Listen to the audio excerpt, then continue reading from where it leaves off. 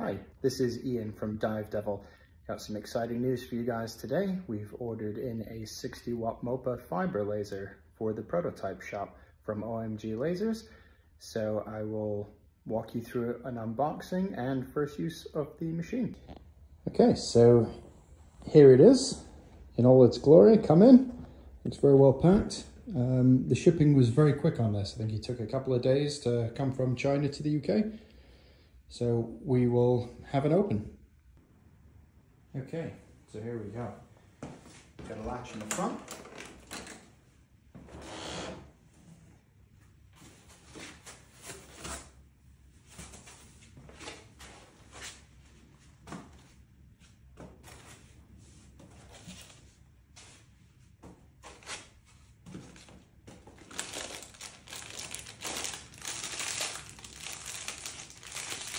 Got a little little package of goodies.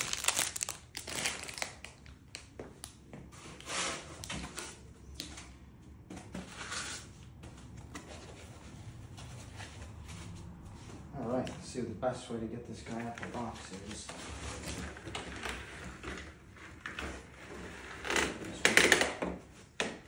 Start with the, the tower on this side here.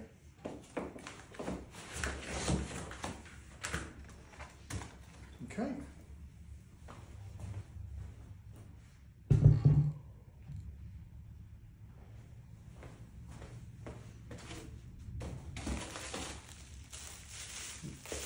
Got a cable and power socket, power plug I should say.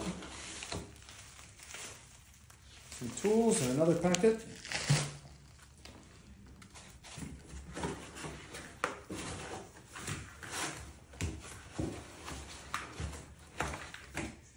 There's a, a rule, 60 cm.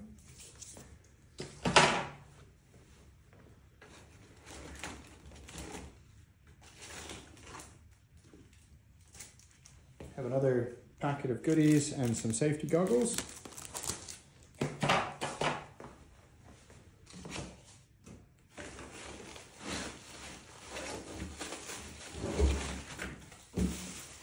That's the rotary.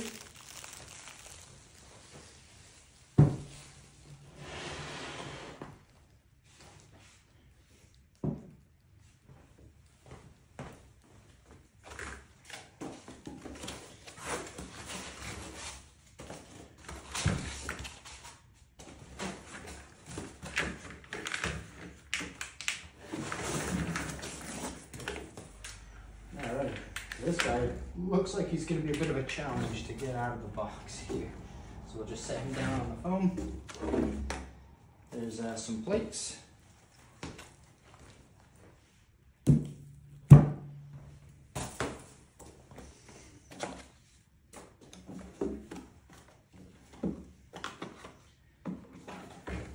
A few more boxes.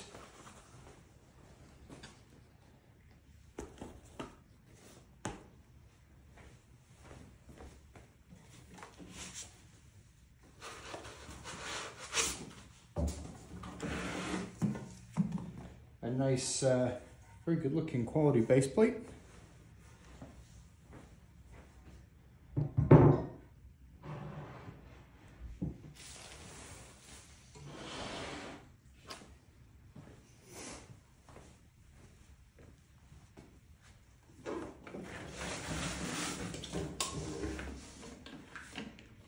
So, and then the base unit. So this I'm already really digging because it's got a nice handle on top, which makes uh, pulling the entire unit out a lot easier.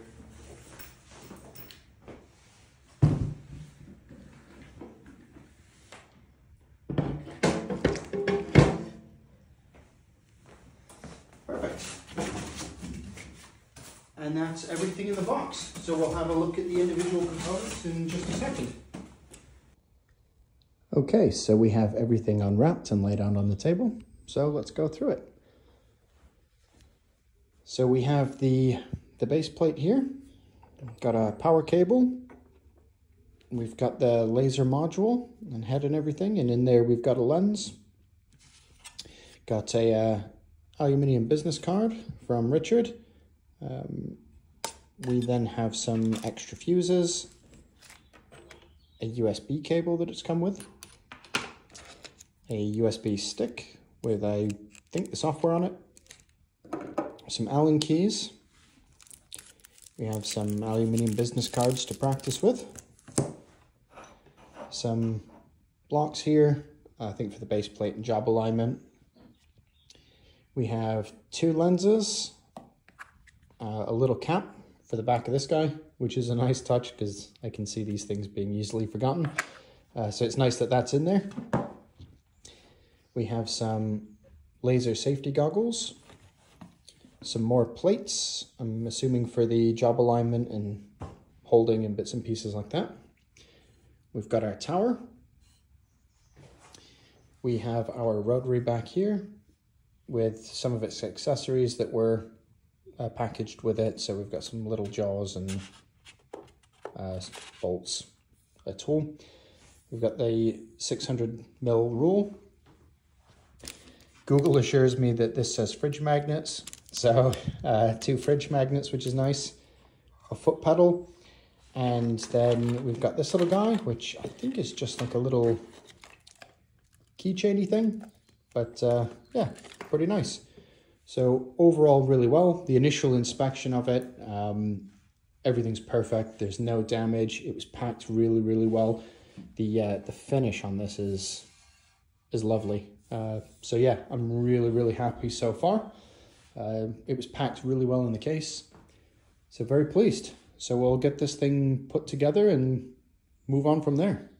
All right, so first up, we'll get the tower installed here.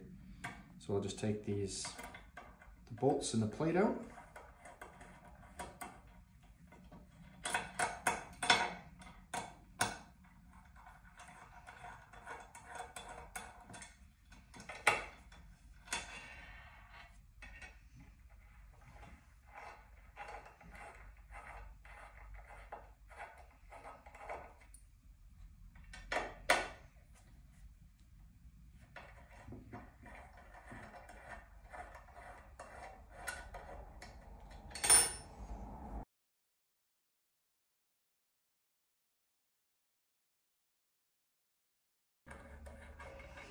Okay, so I'm gonna just tighten those down to, so the heads are inside the, the recessed holes and just push the entire unit back and just in to make sure it's nice and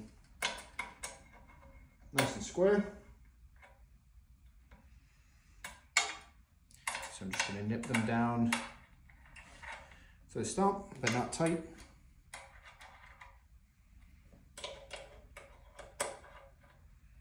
Okay, and then just go give it a little snug. So I'm gonna go opposite corners. I don't think these need, need to be reefed down very, very tight, just nice and snug. Perfect, so that's the first part. The next part we'll do is get the laser unit on top. So we'll find our Allen key.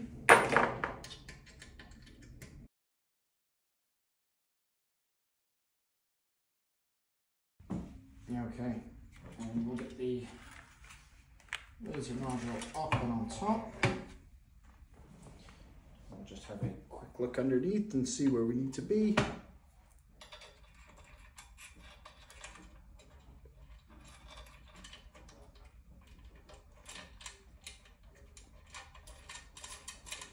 Okay, that's one.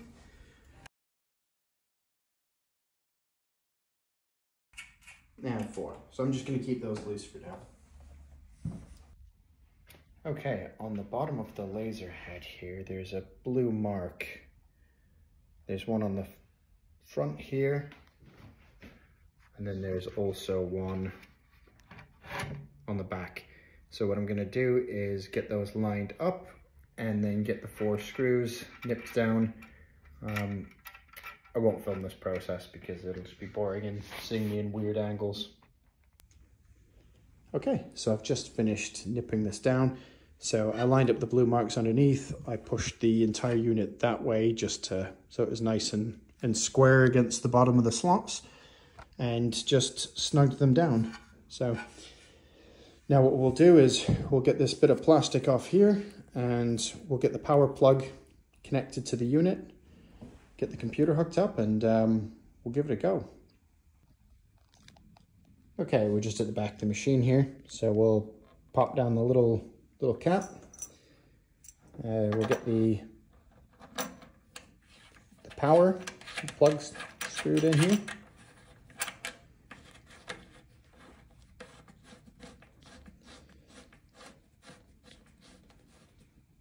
There we go. We'll, we'll now get the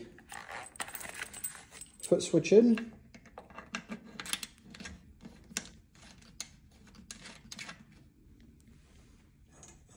And get the USB plugged in up here. And um, we'll get her hooked up to the computer, plugged into the wall, and um, get it all set up. Okay, so we'll give this guy a go. We'll try to connect him to Lightburn. Turn the laser on. Open up Lightburn.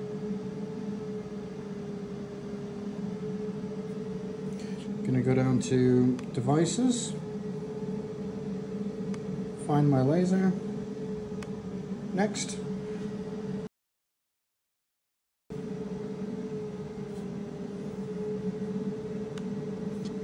Okay. He's found him. I'm going to add device.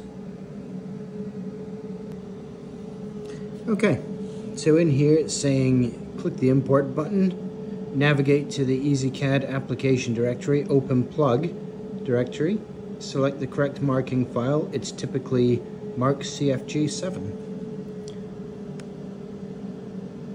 So we'll click here.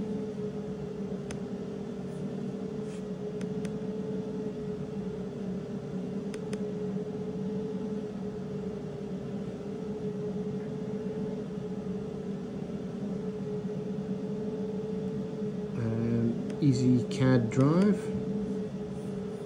We'll scroll down, there's the plug folder. And there's Mark CFG7. Open. Next. This is 150 by 150. so we'll call this OMG 150 lens.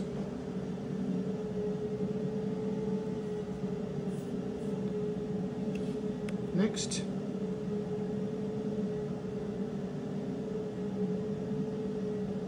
And finish.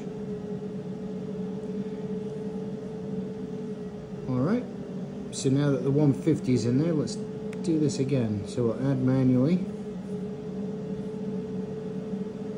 JCZ fiber. Next, import config. So we'll do the same exact thing. This one will do the 70 by 70.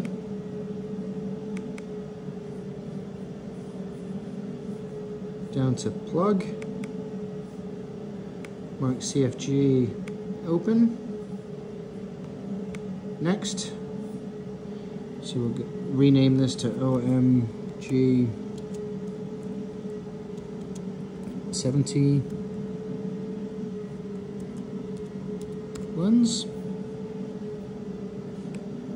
Next, finish. And we'll do it one more time as we've got the three lenses. JCZ fiber. Next, import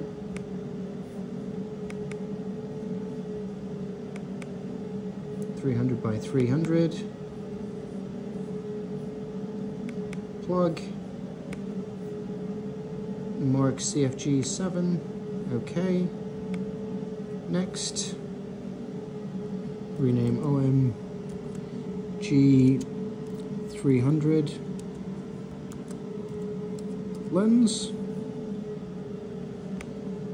And finish.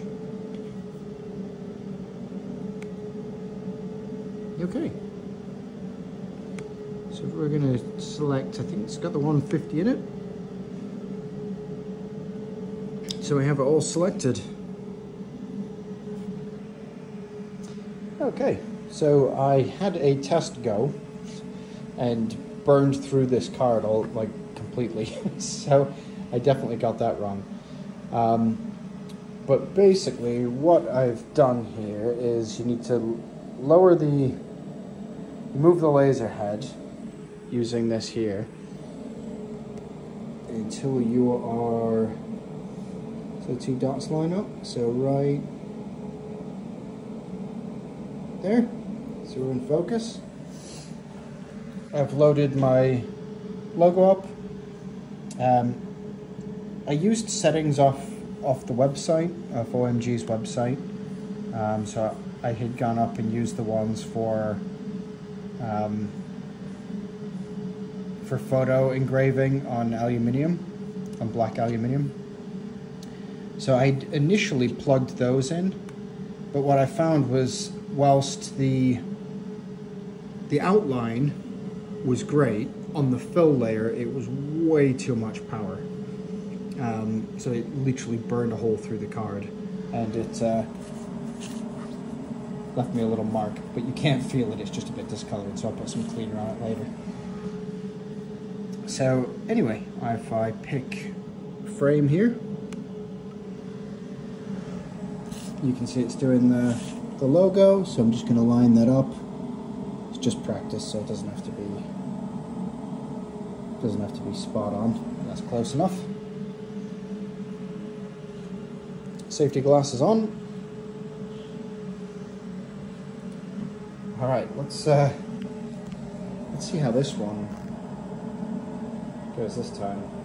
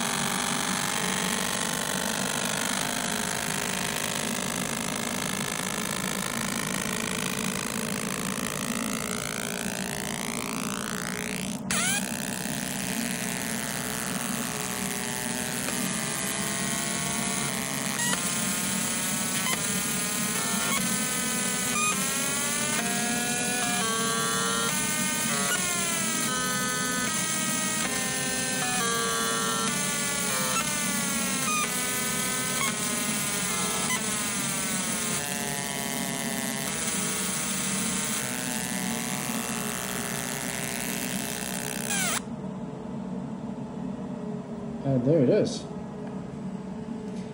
So we'll uh, proceed with caution because I have no idea. Oh, it's actually not bad. So there we go.